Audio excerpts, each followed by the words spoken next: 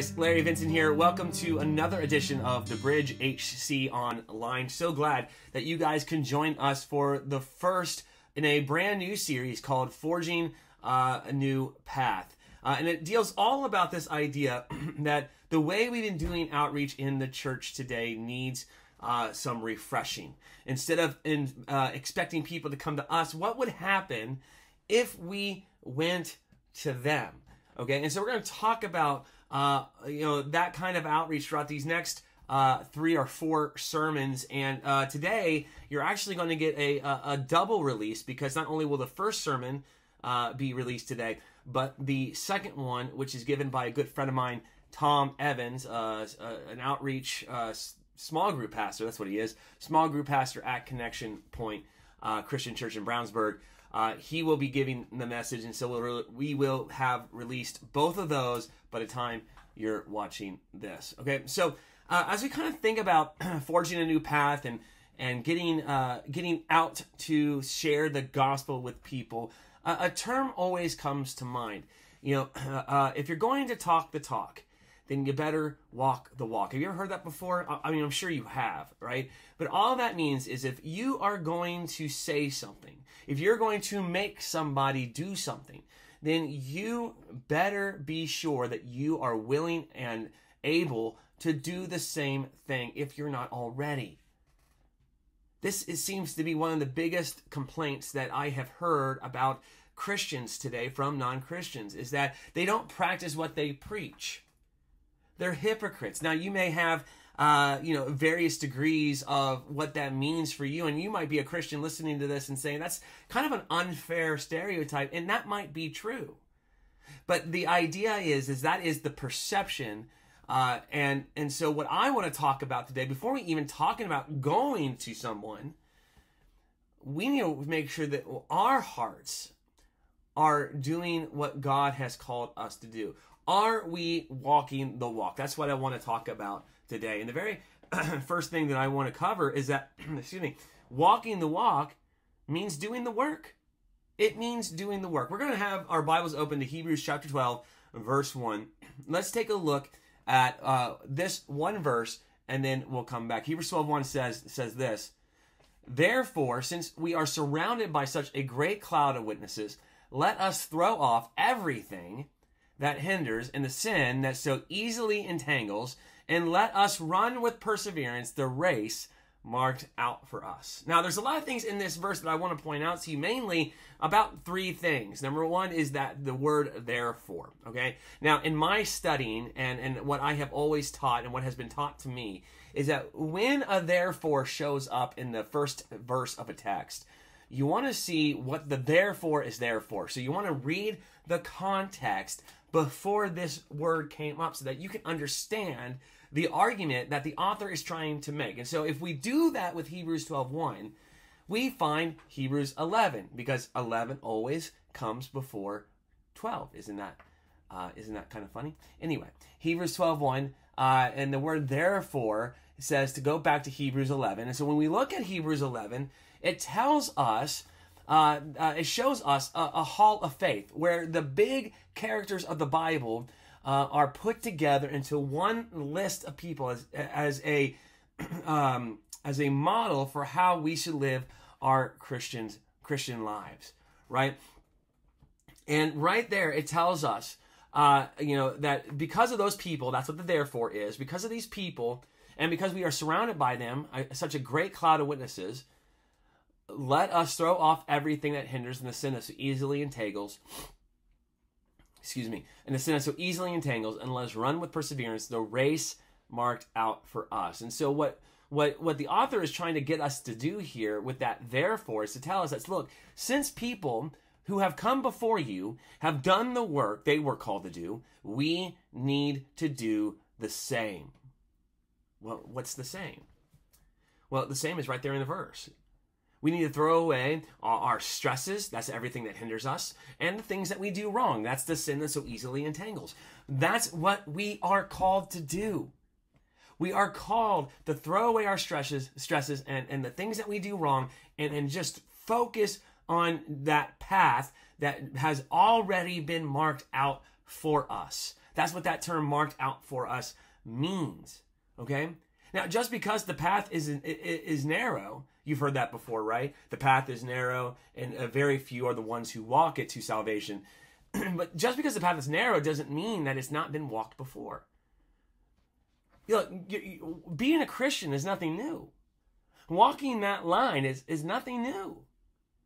It's already been marked out for you. You've already been able to see the steps that you should be able to take. And so that leads us into our our first uh, our first set of questions. And as always, as we say this every week, our questions are are ba- uh, based off of three different tracks, so that you can choose the track that is most comfortable uh, and most relatable to how you think. Okay, so we will always have a theological questions for those Bible nerds out there like me, the practical questions for those who just want to apply it to their lives, and then the skeptical question for those who just are doubters who are uh, who are looking uh, at Christianity through a uh, through a critical eye. You know, it's just it's just a really good way for uh, conversation to happen, no matter what level you choose. So you can choose only one, or you can go through all three. It's up to you. Okay, so here are the questions. Question number one: Read through Hebrews 11. This is our theological question. Read through Hebrews 11 and choose one or two people from the chapter and talk about their character traits, both good and bad. Why should these people be considered examples of the faith, especially when you look at their backgrounds? Why should these uh, people be considered examples of the faith? And then, are there other biblical characters that you would add? Who would you add to your hall of faith, uh, faith? Who would you put on a, on that pedestal that says this is who I should model my life after? For me, it's Jeremiah, but it might be someone different for you. Talk about that, uh, and then we'll go into the practical question. Practical question is this: How easy is it to throw away the stresses of life? It tells us to stop, doing, you know, the stop letting those things hinder us. So how easy is it? Talk about the steps that you personally take to get rid of stress, whether it be spiritual, mental, emotional, physical, or relational. And number three, skeptical question Do you think Christianity has plenty of modern role models for Christians to follow? If so, do you see Christians following that example, following those role models? And if not, how do you explain the supposed lack of examples? All right. Take uh, 10 minutes or so uh, to talk about either one or two or three of these. Uh, and then when you are ready, go ahead and come back, and then we'll start our second section.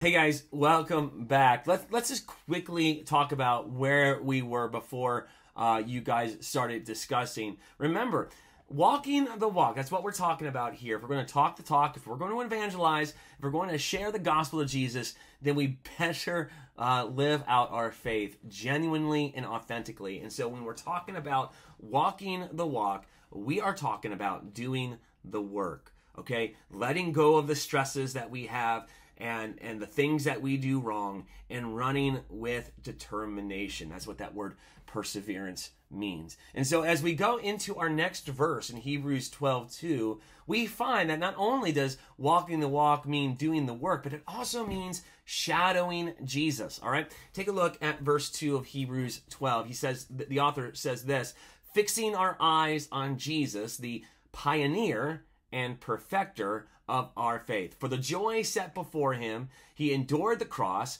scorning its shame, and sat down at the right hand of the throne of God.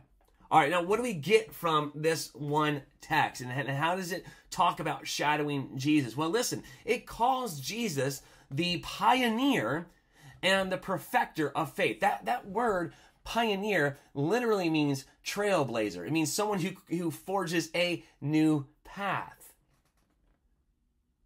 And so when we're talking about walking that walk and following uh, the example of those in Hebrews 11, we can't we can't negate the fact that we are to follow the example of Jesus Christ Himself, because Jesus is the trailblazer, the pace setter for our faith. He's the one that we should be looking at and training for. You know, uh, I, I'm a runner, but there is no uh, more frustrating type of pace setter that I've ever seen in my life than that which exists on the old Mario Kart games. I don't know if they're on the new ones or not. I don't play the new ones, so I'm going off the the, the OG from the 90s, right? That video game, you would get your best time, right? If you remember this, uh, you would get your best time, and then every other time you faced that course in a solo race, you went against your ghost. The, the, the, the, the moment that you did your best. And let me tell you how frustrating it is because you, it was so hard to beat your best time, right? Unless you started copying the exact moves that your ghost was taking. If you did that, that was the key, right? Well, that's the same thing that happens with our faith. We have to mimic Jesus. Jesus is the ghost that is uh, telling us how how sharp to take those curves, what what uh, minds to to uh, go around, where not to go, where the shortcuts might be uh, that we need to take in order to get to that finish line in the in the best possible way. Because here's the deal: not only is Jesus the pace setter, but he is the finish line. And so we have to be locked in to what he has done so that we can do the same. Listen, Jesus is, is, also the one who designed and built the course. He, he, he's the guy who has an unfair advantage uh, by, because he's the one who designed the course. He knows where all the bumps and bruises are. He knows where all the twists and turns are because he designed and built the course. But here's the deal He has offered us the blueprints. He has told us where these things are. He doesn't keep it to himself. And so by because of that we know that that path can be trusted, not just because he designed it, but he walked it himself to prove to prove that it was safe. And so his path and therefore our path it's filled with joy. It's filled with joy in the midst of sacrifice. It's filled with joy despite the negative comments uh, that we get. It's filled with joy understanding the end result. That's why we fix our eyes on Jesus, who for the joy set before him endured the cross, scorning its shame. Jesus saw this path as as a joyful experience despite the tragedy, the anxiety, the depression, and the stress that he felt. And it could be the same too for us. If we are filled with joy, the way Jesus was filled with joy, then we can walk this path the best way that we know how in the midst of sacrifice, negative comments, and, and, and, and understanding that there are better days ahead. All right. So think about that as we head into our second section of our time together. Here are your three questions. Question number one, theological. Think through the life of Jesus and point to examples of when Jesus showed us the way to act as Christians.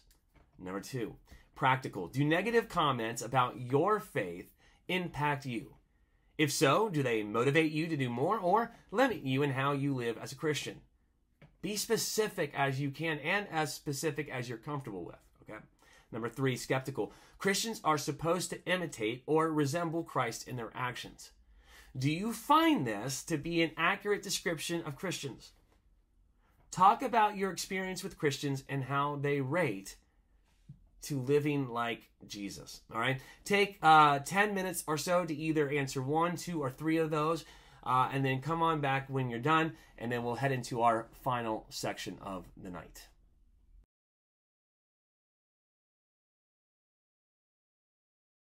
Hey guys, welcome back. Hope you had a great discussion um, as we uh, finished talking about the idea that walking the walk uh, means shadowing Jesus because Jesus is the author and perfecter of our faith. He has he has designed the course, he built the course, he walked the course, he finished the course. He is the finish line. And if he can do it, he has made it so that we can do it too, as long as we fix our eyes on him. So, as we look into our last section of our time together, we understand that walking the walk means doing the work. We understand that walking the walk means shadowing Jesus. But we also have to uh, understand that walking the walk means no unnecessary complaining. It means no unnecessary complainers. Take a look at Hebrews 12, 3 and 4. Consider him who endured such opposition from sinners that you will not grow weary and lose heart in your struggle against sin you have not yet resisted to the point of shedding your blood. Wow, that's that's kind of a hard statement to take, right? Because if you look at Jesus, here's what the author is saying. If you look at Jesus and you look at the uh, life that he lived, especially towards the end, it was not a good life. I mean, he was beaten, he was uh, humiliated, he was uh, crucified, right? Uh, I mean, he went through so many different levels of pain. And, and not just physical pain, but if you look at how his experience was with just people in general, he he lost a lot of relationships. His family at one time thought he was mentally ill. His disciples thought that he was uh, that that he was speaking things that made absolutely no sense. Everyone in their time with Jesus doubted him at some point.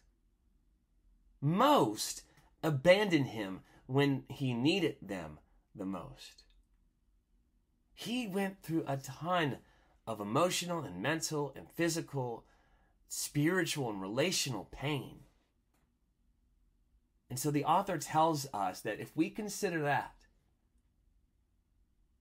and we see how he was able to walk that path and finish the race, then we have nothing to complain about because if he can do it, we certainly can. The author says that in your struggle, against sin. You have not yet resisted to the point of shedding your blood. Look, you haven't died for your cause yet. If you had, then I want to hear from you because I don't know how you're watching this right now. Right? You have not resisted to the point of shedding your blood. You have not died for your cause yet, but Jesus has. And it was a tough journey. Those people in Hebrews 11, those people died for their cause. And yet they finished faithfully. And if they can, if Jesus can, then so can we. Because walking the walk means no unnecessary complaining. It means getting the job done. So we, we, we can't just end up complaining about some of the small and petty things that we as Christians complain about. You know, we eh, because we are a culture where Christianity is uh, accepted by the majority of people still yet today, you know, we start complaining about things that honestly don't matter in the long run.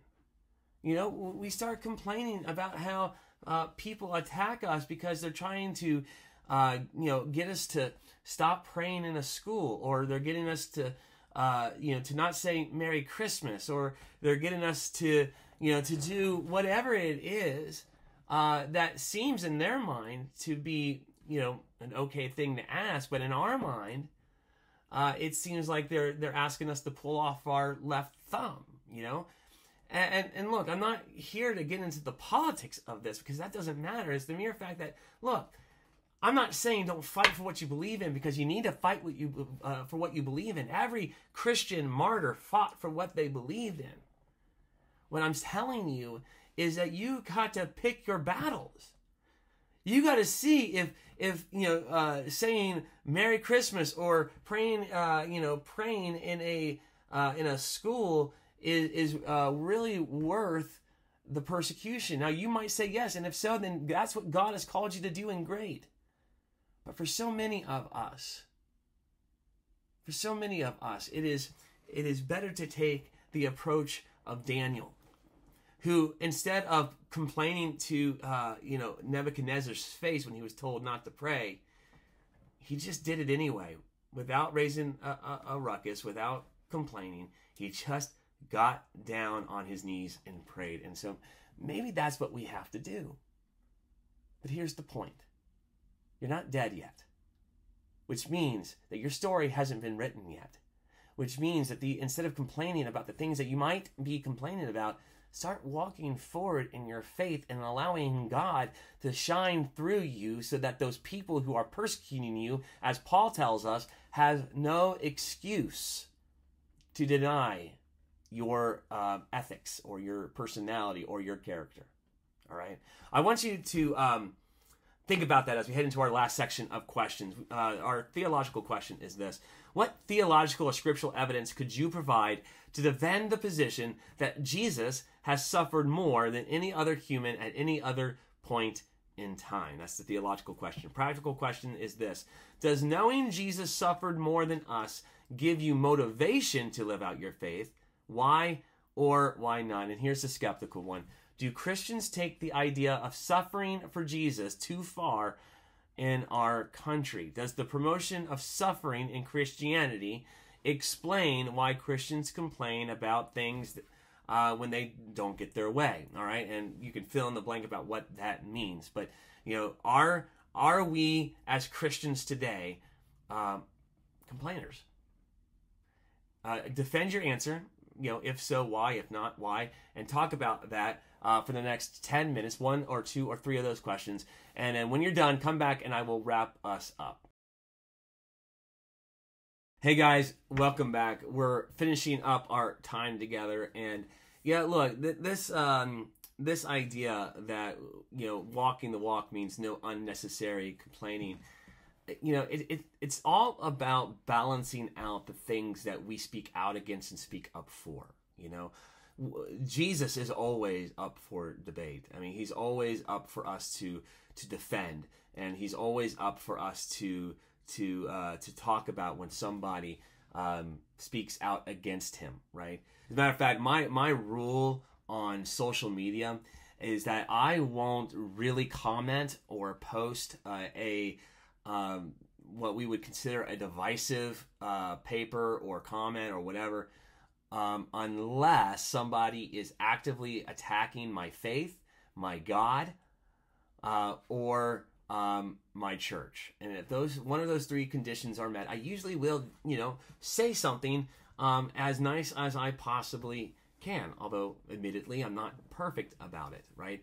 But the point is, if I'm going to do that, and if you're going to do that, if you're going to call out, uh, you know, the things that are wrong with our culture, and you're going to uh, promote Jesus, then you, you have to do what the author of Hebrews is telling us to do. And that is, if you're going to talk the talk, you best be walking the walk, right? It's all about do our actions match our words? Right? And and it's not that okay, I'm going to let my actions just rule. I'm not going to talk about anything because that's not what the Bible says either. It says that you need to have a balance between your talking and your walking. And so as you go out and you outreach and we start talking about going to people, as we start talking about what evangelism really should look like, as we talk about these things, you have to make sure that that you are uh, in a, a, deep relationship with Christ, that you are confessing your sins to God, that you are in your spiritual habits, that you are uh, are being faithful to the best of your ability and authentic to boot. All right, well, that will wrap it up for us today. If you are interested in learning more about our church or continuing this conversation, you can find us on uh, Facebook and Instagram. Uh, our Facebook is uh, at the bridge of Hendricks County, I believe it is, uh, and or the bridge Hendricks County. Uh, and Instagram, it's at the bridge HC. Uh, the proper names are on the screen if I get any of those wrong. Uh, you can uh, from there you can comment on any of our posts. You can message us if you want to have further discussion or you want to meet, um, or you can uh, you can go to our YouTube page where this video is um, being streamed right now and you can comment on there. Feel free to share any of these messages. Uh, hashtag us in it, the bridge HC, so we know what's going on. Uh, and if you want to meet in person, look, we have a service now every Tuesday night at 6:30 p.m. at the Books and Brew in Brownsburg. It goes from 6:30 to 8. If you don't like worship or singing and you and you want to skip that part, I get it. Okay, uh, our conversation starts at 7 p.m. And it's just like this. I talk for 10 minutes, then around a table, you talk uh, about the questions that I've been asking, and then we do that for uh, about an hour. So if you want to come, feel free every Tuesday night at 6:30 p.m. Okay. Uh, if you want to contact us, uh, you can go to our website, uh, thebridgehc.org, or uh, you can uh, email me, Larry D. Vinson at gmail.com. Uh, or you can uh, you can come to Books and Brew on a Wednesday. I have office hours there uh, from 11 a.m. to 4 p.m. Or uh, Sunday nights, I have uh, I'm, I'm usually there, you know, fellowshipping with people from about 6:30 to 8 o'clock. Okay, so any of those times, you're more than welcome to come. You know, come check us out. Come talk to us. We would love to hear from you. Guys, listen, we are trying to raise support for us to be uh, self sufficient uh, for uh, the next two years.